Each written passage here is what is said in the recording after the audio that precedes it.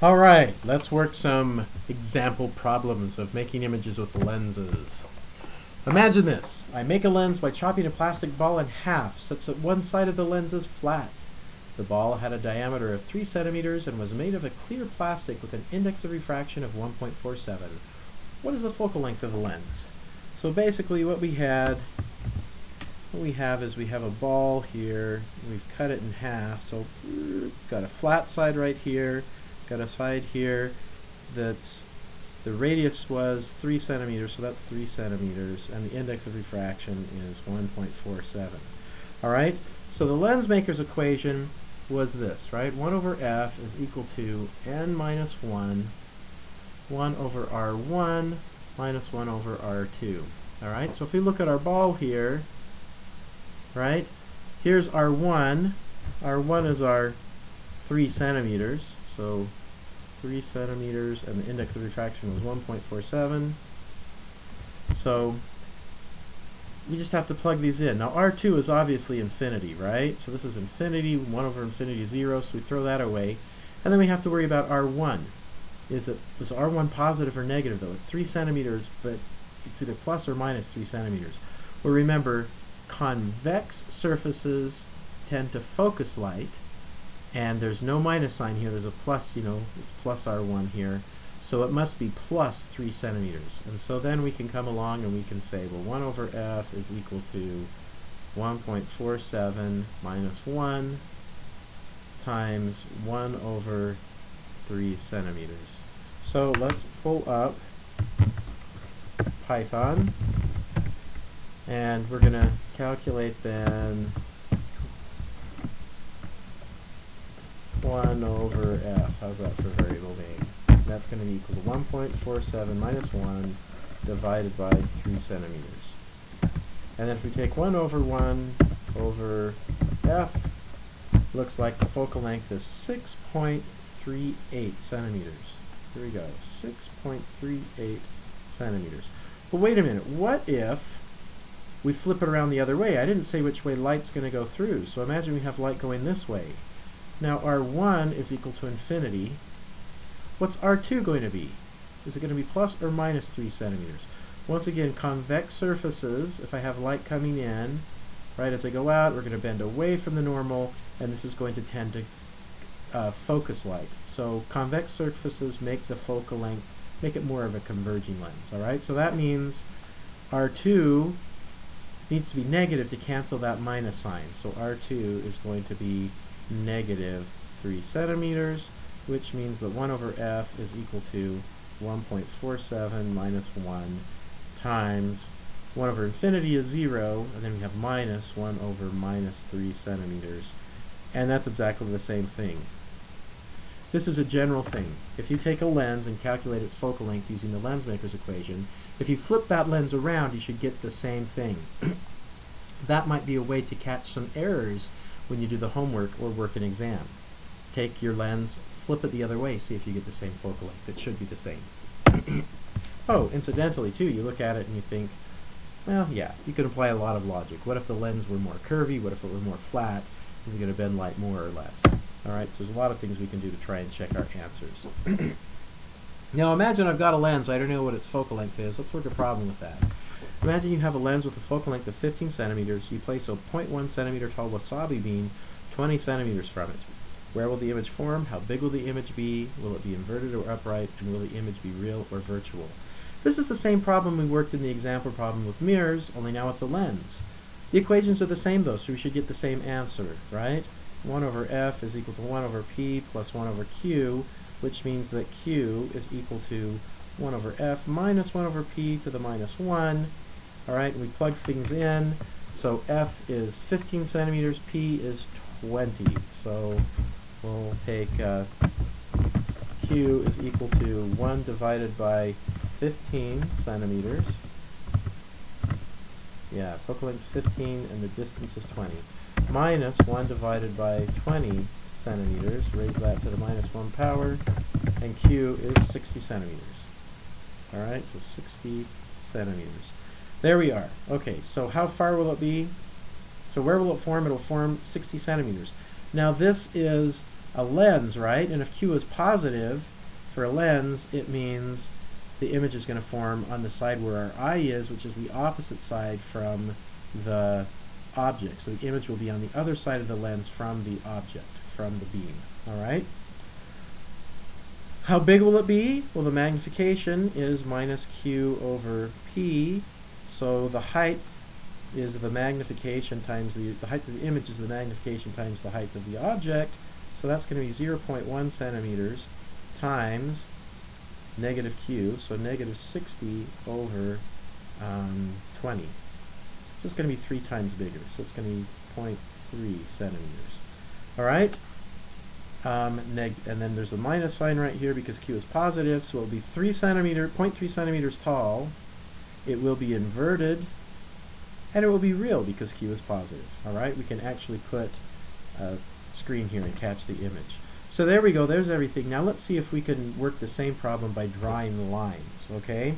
So we're going to have focal length of 15 centimeters, our beam will be 20 from it, and then our image will be 60 from it, so 20 and 60.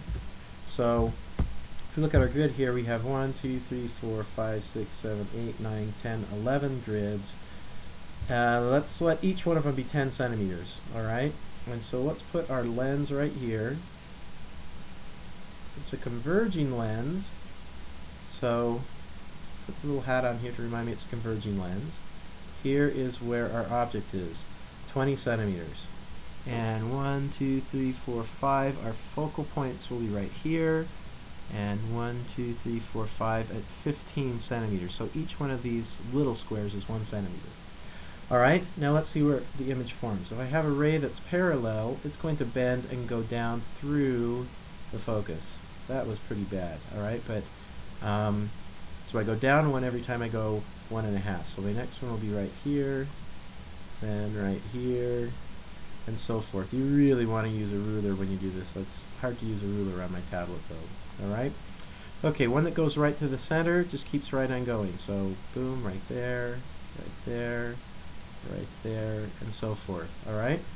And then our last ray, we only get three with lenses, remember. It's one that goes through the focus. Boom.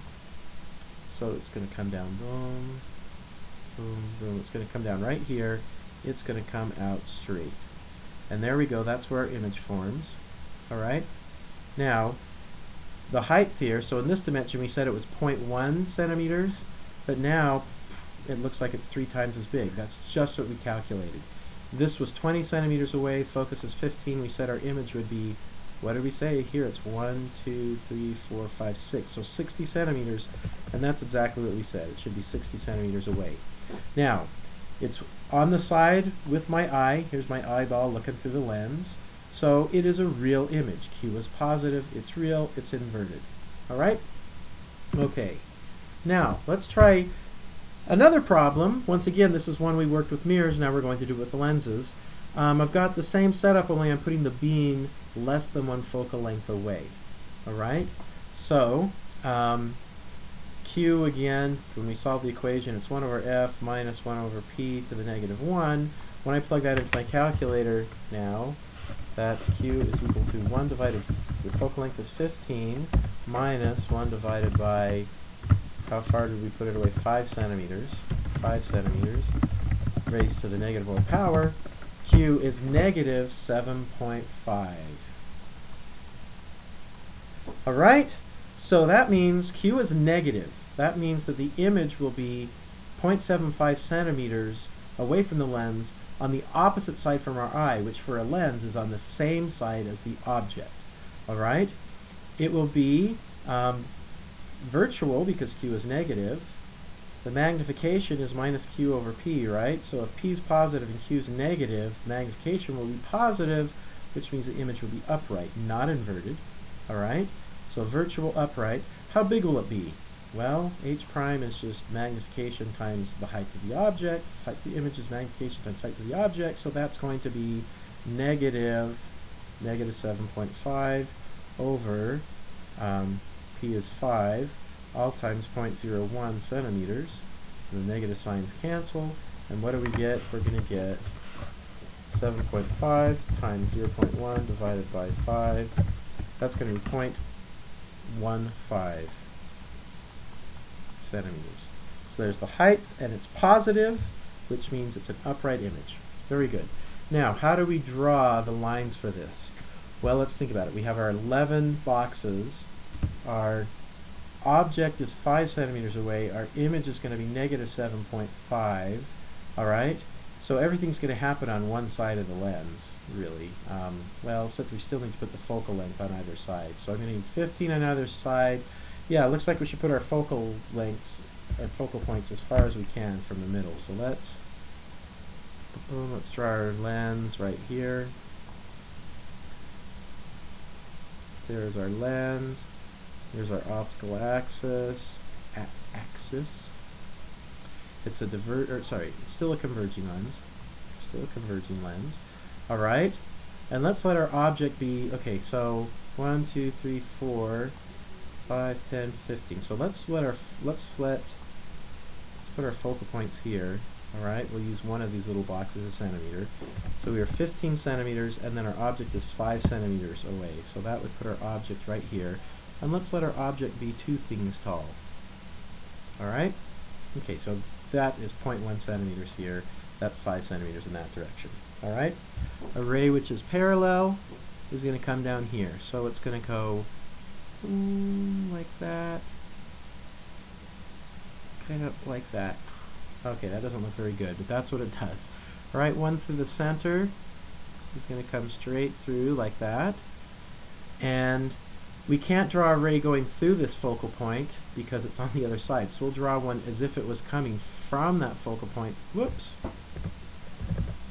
As if it's coming from that focal point, it's going to come out parallel, right? And so then what we do is we extend these back. We say if my eye is over here, it looks as if all of these rays are coming um, from over here, all right? So if I extend this one back, it's going to come up and intersect right about there. And this one's going to intersect right about there. Boom. So it looks like my image is going to form right about there. All right? So it looks like my image is 50 cent, 50% taller than my object. That's what we should have found. So it's going to be 0.15 centimeters high. That's what we said over here. All right? and then we said it should be upright, and it is, and we said the distance q should be negative 7.5. My eye is over here. My image is